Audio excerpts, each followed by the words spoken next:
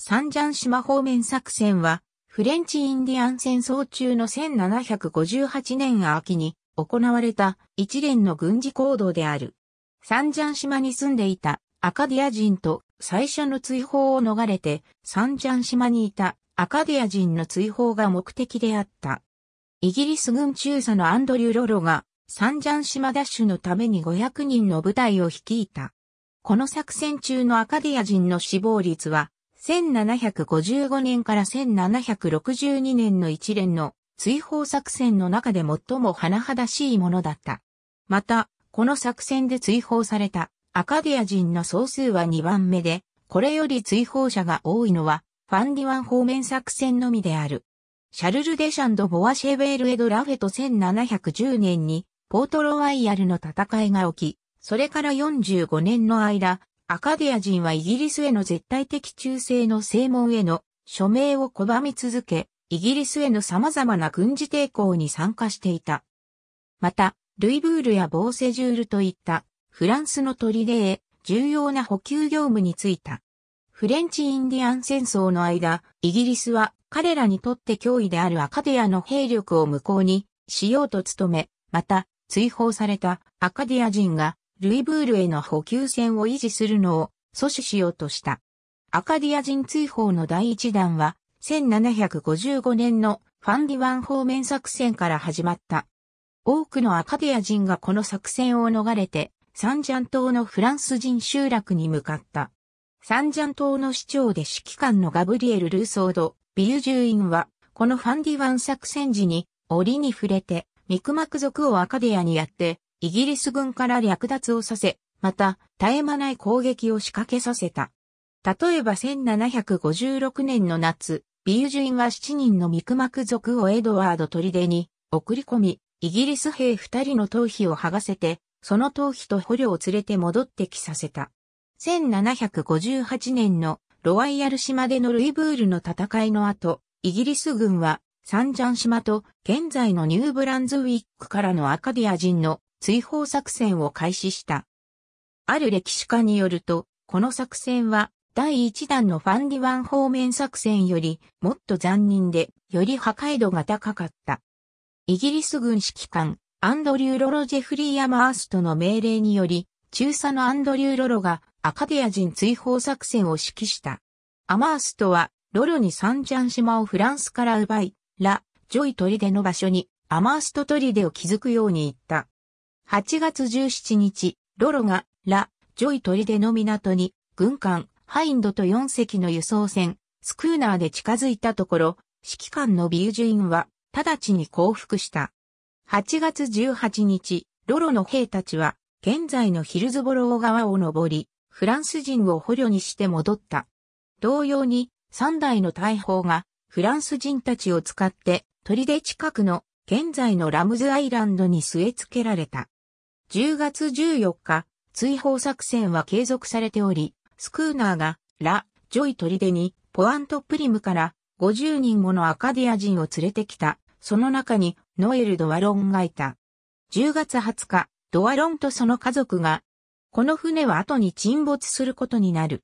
3000人の追放者の中で、ざっと600人が早い時期にロワイヤル島に向かい、その次はメアリー号で11月4日以前にうまく大西洋を渡った。11月4日に12隻の船がラ・ジョイ砦に向かったが、この船体も1隻はカンソー海峡で難破し、1隻がアゾレス岬、そして2隻がランズエンドでそれぞれ沈没した。残る8隻はフランスを目指したが、そのフランスへ向かう途中に1500人のアカディア人が病死、または溺死した。アカディアで最も大きな村であるアーブル・サンピエールの住民もすべて追放された。ラ・ジョイ砦から遠く離れたベデク、ラ・トラベルセ、リビエル・デブロン、そしてリビエル・オークラポーからも他の植民地、現在のキングスカウンティの住民同様に追われ、去っていった。現在のニューブランズウィックの地図。上方にシャリュー湾とレスティグーシュ川、中央やや右にミラミチが見える。アカディア人の多くがビュージュインと共に降伏したが、およそ1250人のアカディア人は降伏しなかった。後者のうちの多数がサンジャン島を逃げ出した。フランス人とアカディア人とで4隻のスクーナーを準備して島から逃げ出すアカディア人を輸送できるようにした。スクーナーのうち1隻は6門艦で、いずれもマルペクに横付けされた。ラ・ジョイ砦からのマルペクの距離は、イギリスの巡視船が近づけない場所にあった。アカディア人たちはどうにか島を離れて、シャルル・デシャン・ド・ボアシェール・エド・ラフェトの難民キャンプにたどり着いた。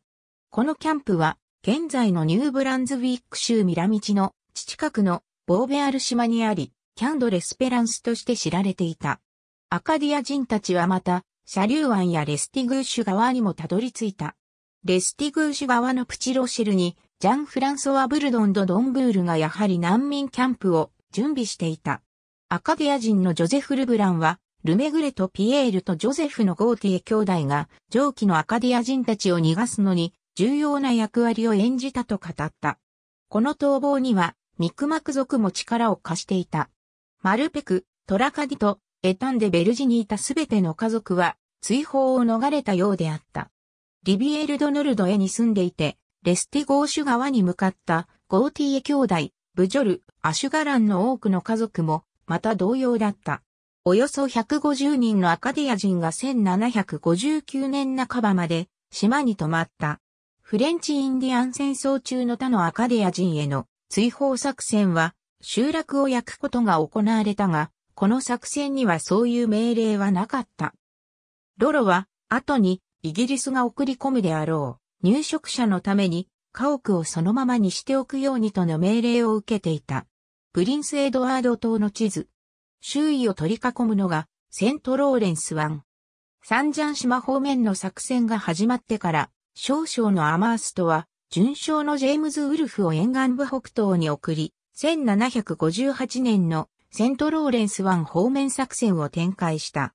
ウルフが他の地域の任務についたあと、1760年のレスティグーシュ川の戦いで、ボアシェベールの難民キャンプにいた数百人のアカディア人が捕囚され、1761年には、大尉のロデリック・マッケンジーがレスティゴーシュ川のブルドンのキャンプの330人のアカディア人を捕虜にした。イギリス軍はまた、当時のベ・フランソワーズの北岸に向かった。1758年11月、少佐のジョージ・スコットと数百人の兵が、カンバーランド取り、その中には、ジョゼフ・ブルッサールの故郷である、ボーソレイユも含まれていた。時を同じくして、2000人規模の部隊を率いていた中佐のロバート・モンクトンは、セントジョン川での作戦に従事していた。また、イギリス軍は、ケープサーブル島でも似たような作戦を展開した。ありがとうございます。